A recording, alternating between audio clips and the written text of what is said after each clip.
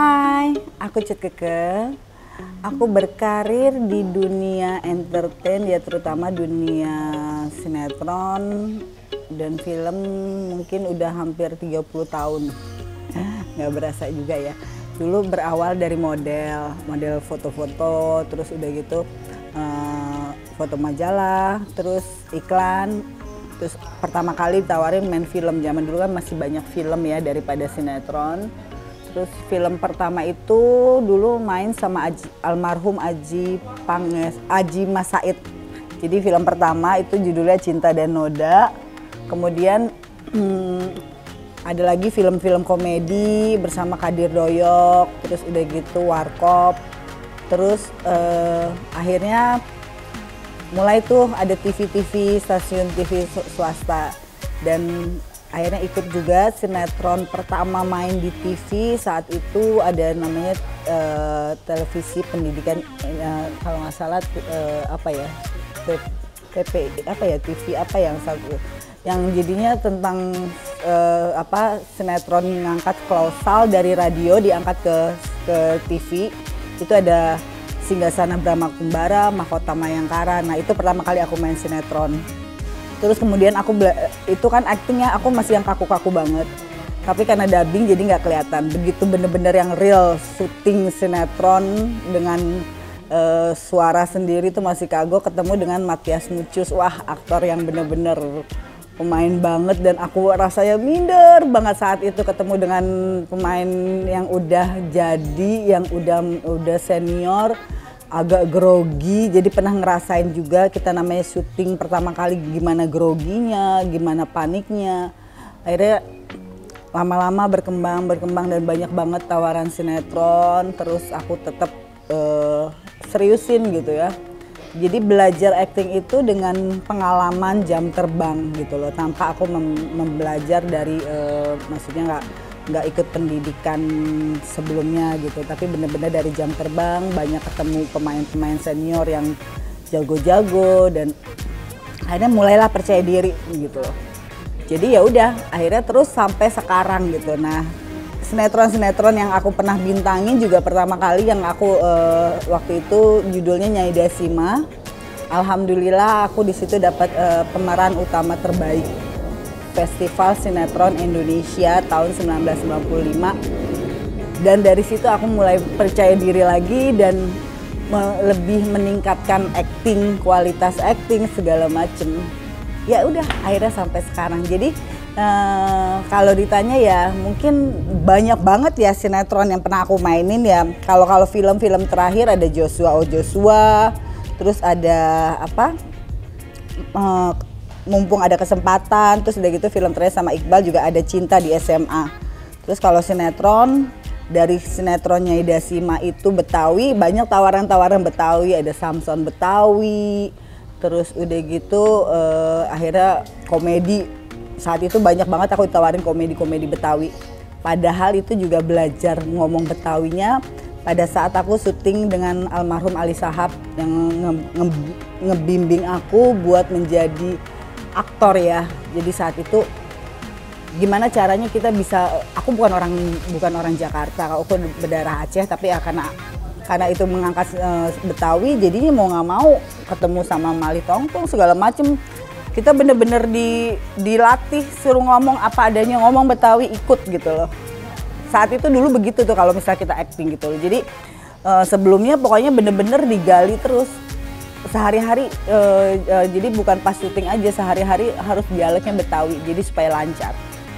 Wah berat banget sih tadinya pikir Betawi cuman pakai ye ye ye ternyata kan enggak gitu loh. Wah segala macem tapi akhirnya benar ya kalau misalnya kita bener-bener di lingkungan itu kita eh, beradaptasi dan ngomong sehari-hari begitu acting dan nggak kaku lagi gitu akhirnya banyak banget kemudian tawaran-tawaran aku sinetron Betawi Betawi.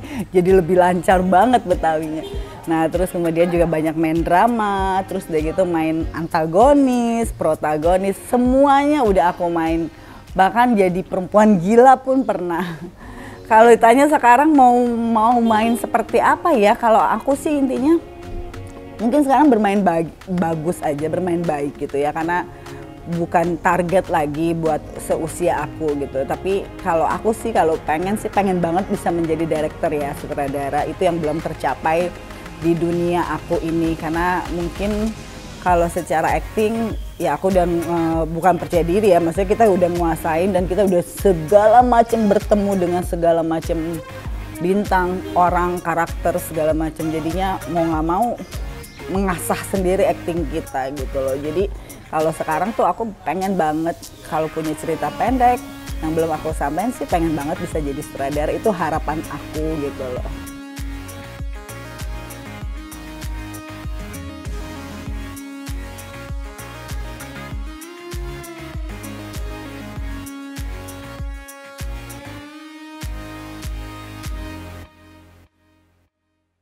Uh, perbedaan pasti ada. Di eranya dari zaman aku ngerasain yang namanya kita roll film berisik kan gitu kan. Acting kita kan agak keganggu dengan ada suara roll film tuh jam dulu berisik gitu.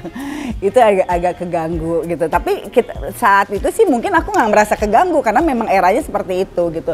Tapi begitu udah canggih canggih terus tiba-tiba kan sekarang nggak ada suara gitu ya itu ngerasain banget perbedaan wah enak nih sekarang nih kita lebih bisa fokus. Kalau dulu kalau misalnya kita kayak mau nangis aja kita mesti di setelin uh, musik bikin kita supaya nangis gitu. Tapi kalau sekarang ini aku ngelihat banyak uh, coach, director beda ya, beda menangani uh, pemain gitu loh. Jadi kalau sekarang ya memang kita pemain tuh harus bisa berkembang sendiri. Lo sekarang mau mau mau berkembang aktingnya atau gimana. Jadi kadang-kadang cuma mereka cuma ngarahin gini tapi tidak dikasih bagaimana sih cara bisa menghayati bisa masuk gitu loh bisa nangis. Kalau dulu tuh bener-bener kita tuh dibikin dulu semua. Lo harus nangis harus di setelin musik gimana kebawa perasaan lo. Tapi kan ada juga orang yang nggak mungkin setel musik bisa langsung nangis karena akhirnya nggak fokus sama dialog. Tapi kalau dulu tuh bisa gitu loh dengan dibawa suasana hening semuanya terus udah gitu dipancing gitu loh bisa nangis. Kalau sekarang tuh bener-bener ditantang lo ketemu pemain senior lo gimana caranya lo bisa bermain deh gitu.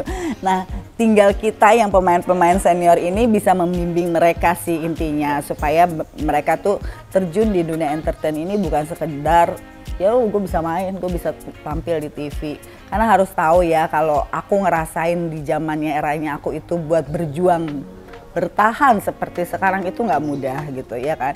Kalau sekarang banyak banget artis, banyak banget pendatang baru dengan mempunyai medsos yang followersnya cukup banyak dan mereka akhirnya cepat juga langsung terkenal. Tapi kalau kita saat itu kita nggak punya itu, kita nggak punya namanya medsos, kita nggak punya apa, kita harus berjuang banget supaya orang mengenali kita gitu loh.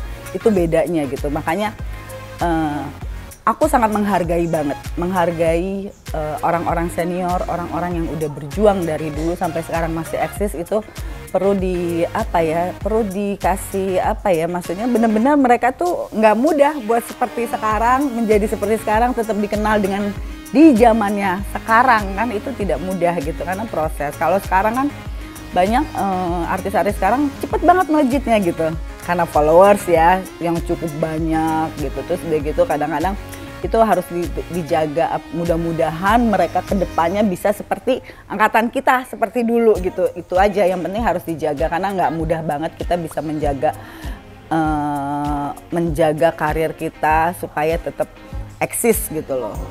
Nah itu dia cerita dari aku pengalaman aku dan harapan aku. Mudah-mudahan bagi yang nonton bisa apa ya bisa meng, mengekspresikan atau juga bisa mensupport segala macam kegiatan atau uh, artis-artis yang apa yang kita lakukan terutama dan terus tonton kita terus di mana pun dan support.